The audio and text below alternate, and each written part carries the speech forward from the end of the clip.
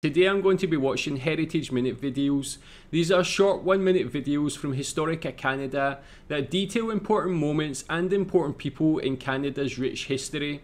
And I've made a couple of these videos before.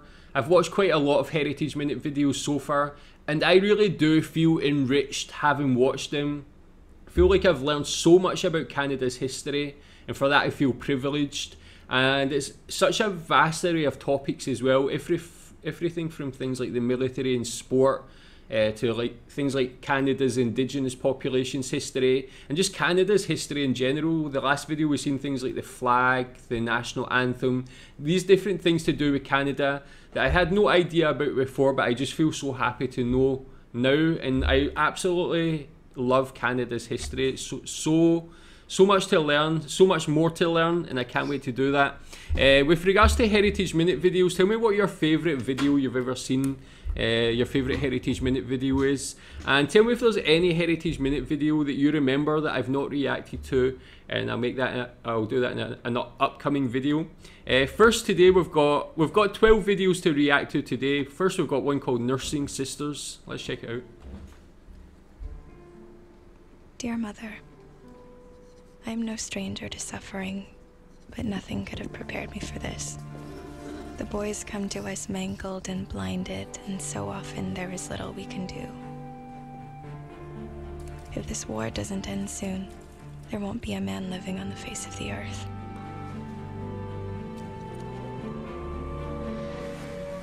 Air raid. But don't worry, we nurses continue. I continue. I'm glad I came, but I think very often how good it will be when it's all over and I'm returning to all I love most home. Eleanor Thompson was awarded the Military Medal for her bravery that night. Eden Pringle was killed in action. They were two of the nearly 3,000 Canadian nursing sisters during the First World War.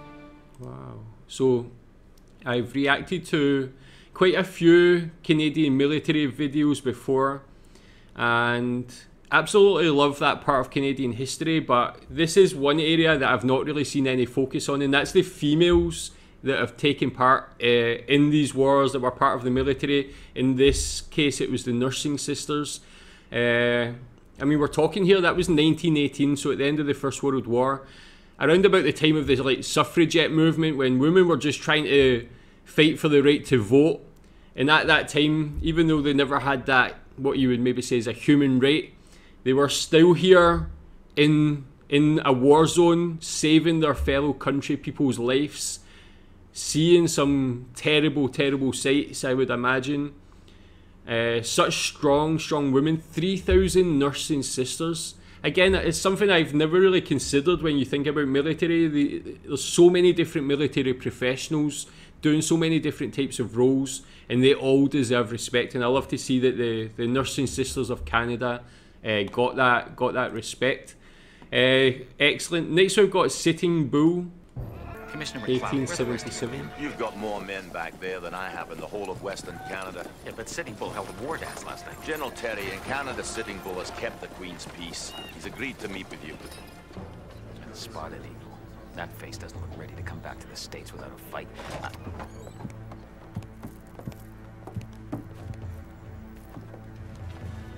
President Hayes says you will be received kindly and the grandmother's medicine house is no place for lies. Not two more words. This country does not belong to you. We will stay here and keep the grandmother's peace. She will let us raise our children. We do not want lies. These men, Walsh, Macleod, you're the first white men who, who never lied to us. I didn't know then that they'd be starved out of Canada and go back to the States.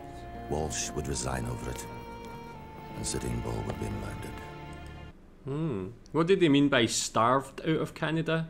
But it, yeah, this obviously is a another interesting part of Canada's history because it's just so like completely different uh, from the world we live in today with these uh, Native Americans, these indigenous people. Uh, this was only like what 50 years before that last video as well, and a completely different complexion to the world, even in that small space of time. But what I'm taking from this video is Sitting Bull was like a Native American from the USA.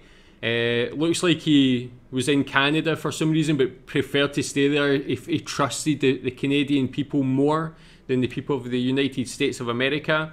But again, something like seeing these sort of Native Americans and indigenous people, something that's very unique to North America and so far away from our lives today, but it's really fascinating to learn about. Uh, tell me more about Sitting Bull and his story. Uh, next, we've got Marconi. 1901.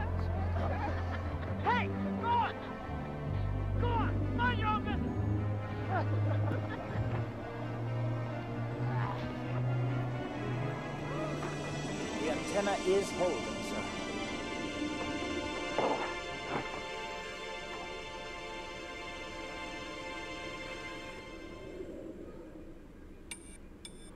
Yes, bravo. There. yes, indeed. This is going to make your world a lot different than the one I grew up in. You know where England is? Sure, it's over there. And over there is where that sound is coming from. Right, Mr. Marconi? Through the air, across the ocean. The first time ever. Mm.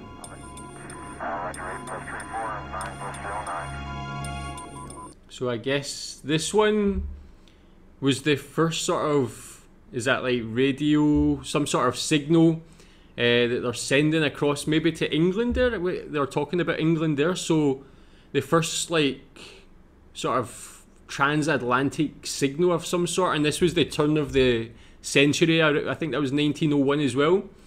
And again, you see these methods that they're actually using to send signals so primitive in, in what compared to what we have today. Uh, we take instant communication and instant like connection with people in the, every part of the world so uh, we take it for granted. It's just so easy to connect with anybody anywhere now. You see these people out on some hillside, some cliffside, using what looks like some sort of kite, using all these primitive methods to send a signal in such a momentous occasion. Something so small, these men in this room on a cliff, this small thing is such a momentous part of not just Canada's history, but the history of the world, man. Uh, things like this changed the course of the world, and you see, like the First World War came after this, probably using this sort of technology for different reasons. Uh, watching these videos so far, three quite things that happened quite long ago, but like connected in slightly different ways. It's and you, but you still see how quickly things changed in these small periods of time as well. Uh, fantastic. Uh, so let's see. Next, we've got Vancouver Asahi. We were born in Canada. We spoke English. On the streets, we weren't welcome. But on the field, we were the Asahi. Vancouver's champions. Everyone cheered for us. Our people had a voice. Then Canada declared war on Japan. They took us from our homes, called us enemies, forced us into camps. Really? But we brought the game with us. Baseball helped get us through the internment. The Vancouver Asahi were among the 22,000 Japanese Canadians interned during the Second World War. The team never played another game. Wow. That's just a heartbreaking story throughout that. I mean, you see that man there, he was third base. That was a, a player from that time, I'm sure. He must have a absolutely riveting life story. I would love to hear more from him and more about this. As I said before, being a sports fan, I always have a, a kind of extra interesting stories about sport, but something like this, uh, you see these Japanese people who have moved to Canada to have it start a new life and hopefully have a prosperous life. And you see at the start there, they talked about it was already difficult there, they were treated differently, but baseball was their sort of their way of getting over that. They had this team here, it looked like made up of Japanese immigrants, and you know, of course, I'm sure they couldn't envisage North American countries, America, Canada, going to war with Japan before they actually moved, but that's just something that happened, and yeah, how they were treated, yeah, that's quite harsh. But I guess in moments of war, especially during the Second World War, people were so paranoid and didn't want to have any sort of maybe didn't have want to have any domestic incidents with people from these countries. You know, these people might see their country being at war and might feel like they need to do something in Canada. So I can see the sort of reasoning why Canada would move these people to sort of camps and stuff, but it's still a very very sad situation and you see they still lived they still played their baseball there and still uh, try to use that to get over the, the pain in their life at these times, man. So, heartbreaking story, one that's very interesting, again, the same as the others. Okay, next we've got Maurice Rocket Richard.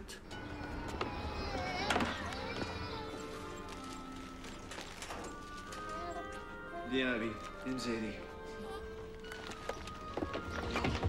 Telephone. Yeah, but you told me that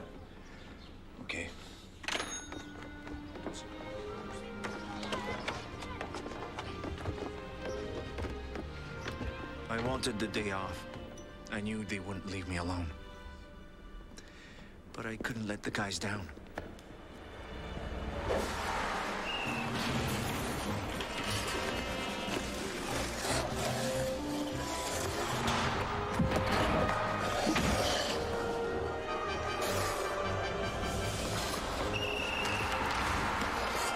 That night in 1944, Montreal beat Detroit 9 to 1. Maurice Rocket Richard scored eight points, five goals, three assists. A legend was born.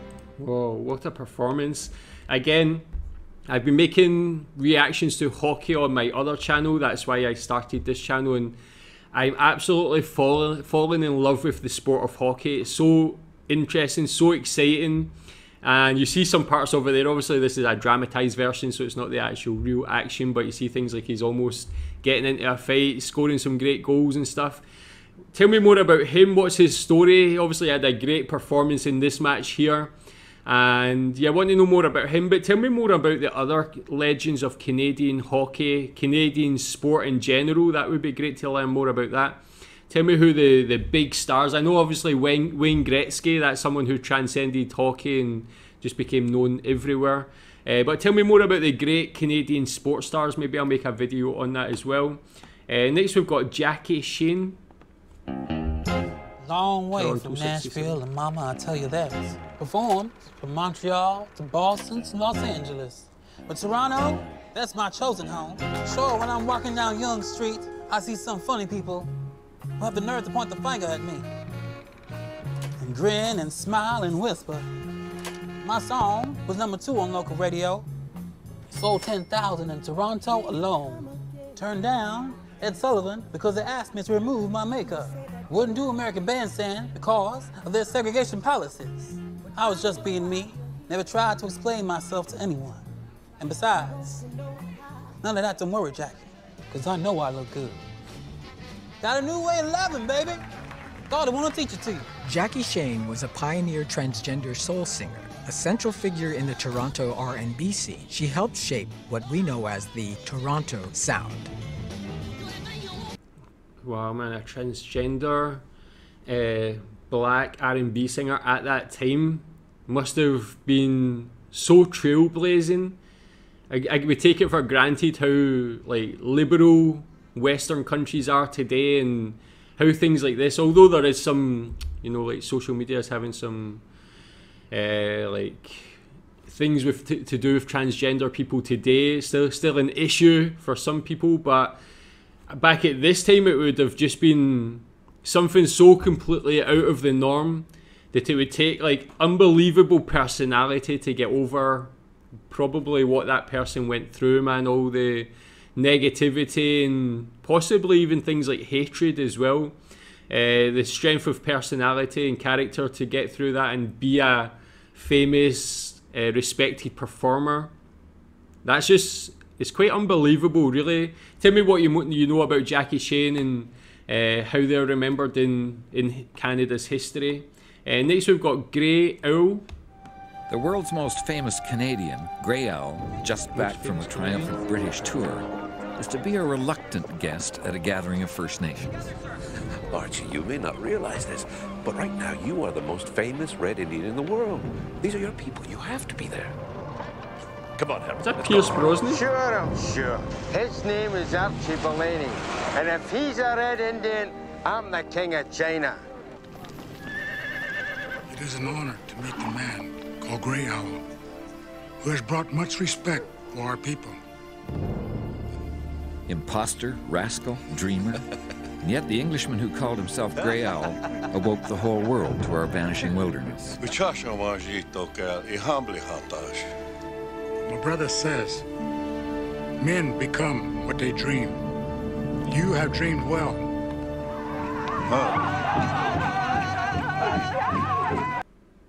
Well, that is an interesting one. That one I really have no idea about. So Owl, it looks like they said he's an Englishman.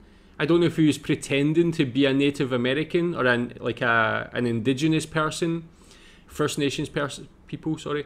And but it looks like he actually by doing that brought a lot of light or shone a light on the Native Native American indigenous people and ended up like bringing their story to the forefront of people's uh, knowledge, which is a very interesting story. Like I wonder how that would be seen today. You know, things like this when people uh, do things like this, it will be like termed as cultural appropriation, especially in Western countries again. Anyway, and they'll usually get a lot of disrespect. But this one, it looked like the indigenous people actually respected him for being able to generate some media interest in their play and in their in their way of life.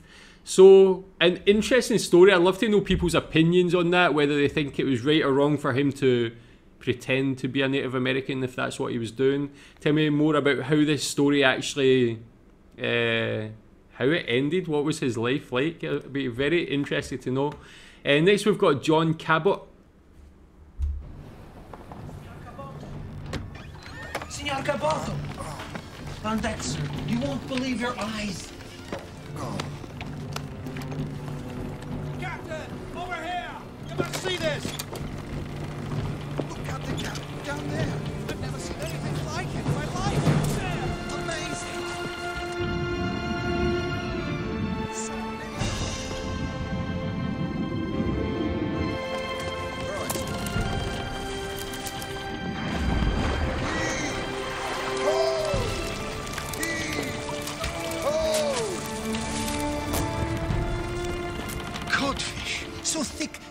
They stayed the progress of our ship. Your fleets will have no further need of Iceland. Fish is enough to feed this kingdom. Hmm. Oh, sire, until the end of time. Okay, cool. So that one you can see here is 1449 to 1499. So obviously this is he's some sort of explorer. I mean, we hear about things that guys like Christopher Columbus reaching what is now the United States of America and discovering it, discovering it. But obviously, even before this time, Vikings uh, reached what is now Canada and the USA, uh, but couldn't set up uh, life there or had no intention to. Whereas we see it, guys like this, John Cabot, who I knew nothing about before, he's obviously reached Canadian land there and found these fish and been made it, been able to make the judgment that that can sustain life there. So another hugely momentous thing, just exploring these. It's again, it's hard to put ourselves in the the life of these people, the explorers of the world, finding these lands. But finding just something so simple, finding big fish and thinking we can actually conquer this land, we can take this land and set up a, the kingdom, as they mentioned there. Uh, very, very interesting again. Uh, next, we've got Governor Frontenac, Move along, all Quebec, of you! 1690. Make way for the envoy! October 8, an envoy comes ashore with an ultimatum of surrender for Governor Frontenac. It's been a long time since I've seen the enemy is close. Tell me, Caporal. Lieutenant. Ah oui, Lieutenant. About your Colonel Phipps. General Phipps. Ah, Phipps, oui. Is he still such an idiot? oh God, monsieur! Does he really think he can conquer Quebec with only two or three ships? Monsieur! We have 34 ships and a full regiment from Boston. Frontenac has one hour to surrender. You terrify me, Caporal. Wait! Enough! Arrêtez! Well, Governor Frontenac, your reply, sir. I will reply from the mouth of my cannon. The Americans pressed the attack, but Frontenac beat them off. Phipps weighed anchor and never returned. And yeah, so this is another interesting part of Canadian history that I've been learning about, and that is something that makes Canada very unique, and it's having that sort of French region with Quebec, as opposed to the other part, which would have been uh, British, uh, managed by the British back in the day. Uh, but we can see at this time, this is 1690, that there was obviously a lot of tension between those two sides, and there would have been wars going on and stuff like that. And again, it's another thing that's hard to think about when you see how united Canada is. Although people were telling me that uh, Quebec, uh, I learned about that Quebec were trying to get their independence uh, within the last uh, decade or so and you can see that it's obviously not going to lead to things like war and stuff. But at this time, that's how they would have dealt with that, trying to take each take over each other's land, or the British trying to invade and the French fighting them off. Uh, tell me what you think about this part of Canadian history. Uh, next, we've got Jim Egan, Toronto 48. I never thought I'd know that feeling. To be in love because for us, it was a crime. Someone had to respond to the tabloids, so I wrote letters, challenging every misconception about homosexuality. Nine homes, seven dogs, 47 years together, and still not spouses under the law. So we took our fight to the Supreme Court. Jim Egan and Jack Nesbit await a verdict on their fight for spousal rights. Hello?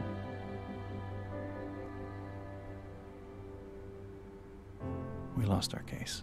But we made a difference. As a result of Jim Egan's case, the Supreme Court ruled that sexual orientation is protected under the Charter of Rights. A landmark victory for the LGBTQ2 community.